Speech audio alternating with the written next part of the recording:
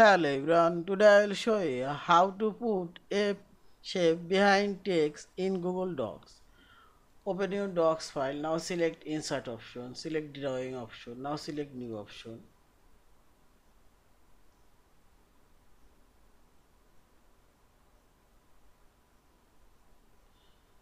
Now I'll draw a shape now. Draw this one. And since shape border color to border white. Now select save and close. And select this shape and choose here behind this text option. Now move your shape. Yeah, this shape already inserted behind this text yeah thank you for watching please subscribe like share and comments